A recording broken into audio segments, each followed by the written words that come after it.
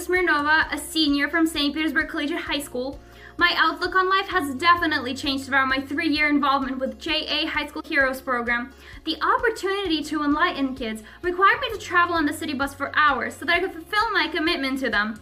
I have big dreams and aspirations, and the Frances and Gus Scholarship will help me fund my bachelor's degree in marketing and eventually a master's degree in international business at the University of Florida.